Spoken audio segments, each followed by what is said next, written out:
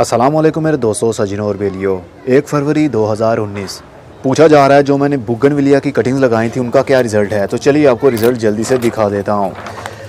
दो गमलों के अंदर हमने कटिंग्स को लगाया था। एक तो ये रही और एक ये रही।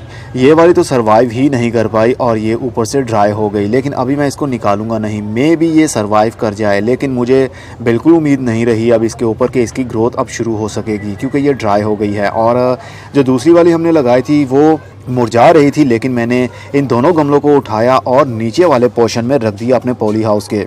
इसके नए पत्ते निकल रहे हैं और नई शूट भी ऊपर से निकल रही है। उम्मीद करता हूँ कि इसकी ग्रोथ अच्छी रहेगी।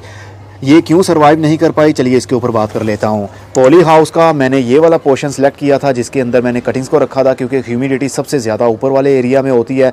लेकिन जैसे ही मैंने ऊपर वाला जो यहाँ पर ग्रीन नट लगा होता था और पैराशूट लगा हुआ था, जिसकी वजह से यहाँ पर शेडी एरिया रहता था, उसको उतार देने के बाद में यहाँ पर धूप ज़्यादा आने लगी। जैसा कि अभी आप देख सकते हैं, इस एरिया में ज़्यादा धूप है और नीचे वाले एरिया में भी। धूप जहाँ भी हो, उसकी हीट जब बनती है तो वो ऊपर वाली साइड पर उठती है और इस एरिया में ज़्यादा बनती है, जिसकी वजह से ये वाली कटिंग जो मैंने आपको दिखाई, वो ड्राई हो रही थी। जल्दी से मैंने दोनों गमलों को निकाला और इनके अंदर रख दिया।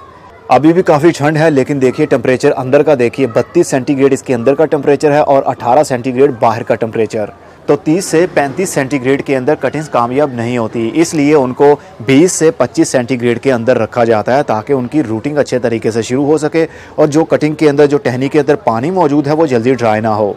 तो अब देखेंगे क्या रिज़ल्ट मिलता है आप लोगों के साथ मैं शेयर करूँगा। अब मैं चलता हूँ। खुदा हाफिज़। Good bye. See and tata और अपना बहुत सारा ख्याल रखिएगा।